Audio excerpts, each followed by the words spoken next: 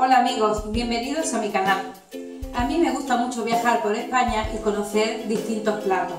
Y siempre que viajaba a Alicante y probaba sus arroces, le encontraba un sabor algo especial. Yo intentaba hacerlo en casa, pero yo sabía que algún ingrediente le faltaba porque no me quedaba igual. Hasta que un día hice amistad con un cocinero de Denia y me dio el secreto de los arroces de Alicante. Y el secreto está en hacer una salsa que se llama salsa salmorreta. Para la salsa que vamos a hacer hoy necesitamos los siguientes ingredientes. Dos cabezas de ajo, 5 o 6 ñoras, un buen puñado de perejil fresco, 200 gramos de tomate triturado, que son unos 5 tomates, 6, depende del tamaño, que sean, que sean muy maduros, 200 mililitros de caldo de pescado, si es posible que sea casero, un poquito de sal y aceite de oliva.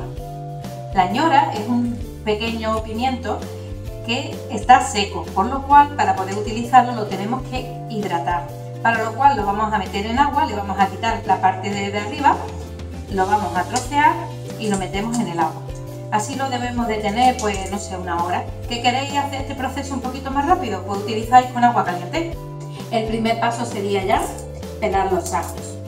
La ñora es, es un fruto muy antiguo que viene de América. Después del descubrimiento de Cristóbal Colón llegó a Europa y no se cultiva en, todas las zonas debido a que tiene que tener una temperatura muy especial y el terreno también se tiene que dar.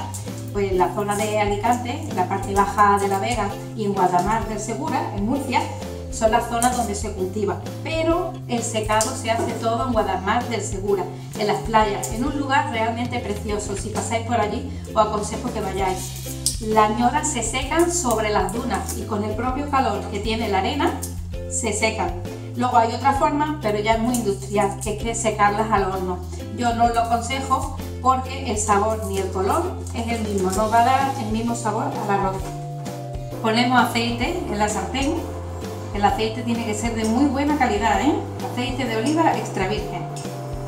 Lo ponemos a un fuego más bien bajito, porque lo que queremos es que mm, los ajos no se vayan a dorar, porque entonces si no le daría un sabor muy amargo a la salsa.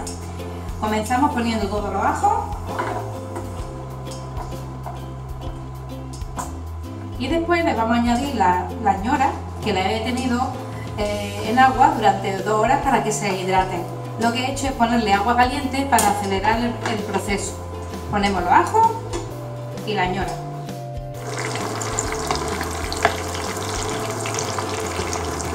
Como veis los ajos ya han empezado a coger un poquito de color. Ahora es el momento de añadirle el perejil.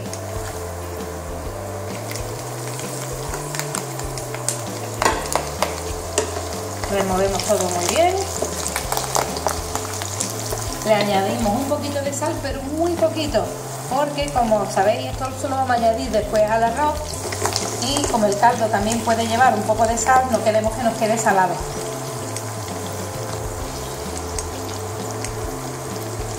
Removemos todo muy bien y ya añadimos el tomate natural triturado. Yo aconsejo si tenéis tomate de pera, mejor, porque le va a dar un sabor fantástico. He tenido la salsa hirviendo unos 7 minutos, 8 aproximadamente, y ya solo nos queda añadirle el caldo que he hecho casero de pescado. Ahora ya lo vamos a dejar hervir hasta que se convierta en una pasta muy compacta, o sea, que vaya absorbiendo el caldo y quede muy espeso. Con esta consistencia es como debe de quedar esta salsa. La he tenido hirviendo 15 minutos a fuego medio. Ahora lo vamos a pasar todo a este accesorio que la verdad que todos deberíais de tener en casa porque es muy práctico. Este accesorio lo trae la batidora y es una picadora. Y para hacer este tipo de salsa queda maravilloso.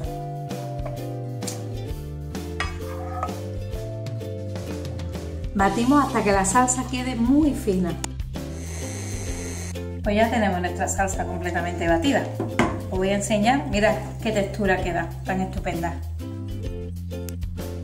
Pasamos la salsa esta a una salsera y os quería explicar una cosa que es muy importante.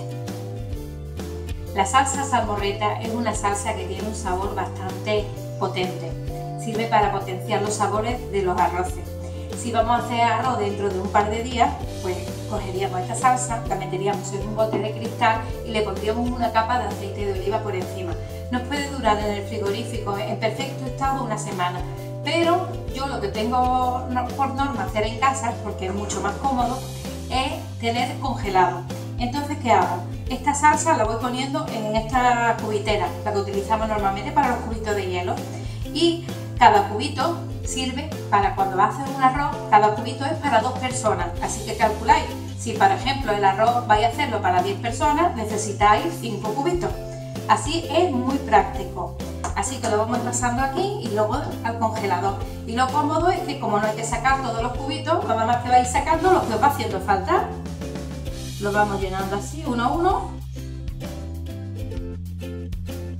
Lo hemos llenado y ahora le vamos a dar unos toquecitos para que se aplane lo máximo posible. Le ponemos la tapadera y ya lo pasamos al congelador. Con esta cantidad que hemos hecho, hay como para arroz, para, como para unas 30 personas. Una parte la voy a congelar y con esta que, veis aquí le he puesto un poquito de aceite de oliva por encima para hacer arroz mañana. Y con esto habría para 6 personas. 6 más esto, 30 personas. Imaginaros el sabor tan bueno que le vais a dar al arroz y además que es muy baratito. La salsa salmorreta se utiliza en todos los arroces en la costa de Alicante, sobre todo los arroces que llevan pescado. Quiero hacer un inciso porque antes he olvidado explicaros que esto no es el sustituto del sofrito, esto es además del sofrito. Hay que añadir solo el arroz. Os aconsejo siempre el arroz bomba. ¿Por qué? Porque el arroz bomba coge muchísimo mejor los sabores de todos los ingredientes que le pongamos al arroz y al mismo tiempo también necesita echarle menos caldo. El sabor es espectacular. Os aconsejo que la probéis y cuando la probéis habrá un antes y un después de vuestros arroces. Cuando probéis los arroces con esta salsa os vais a quedar prendados y sobre todo cuando vengan los invitados que se llevarán una sorpresa fenomenal. Os recuerdo a todos que tengo una página gastronómica. Cocinar es muchísimo más que hacer platos es conocer los productos, de dónde vienen, dónde se cultivan, qué proceso han llevado hasta que han llegado a nuestra mesa. Si os gusta la gastronomía, no os podéis perder mi página Cocinando con Paz. Os recuerdo que me ayudáis mucho si le dais a suscribirse, me regaláis un me gusta y pues sobre todo que me dejéis comentarios, que me deis ideas sobre platos que os gustaría que hiciera. Pues nada amigos, espero que os haya gustado, que probéis hacerlo en casa y me despido hasta la próxima receta. Hasta pronto.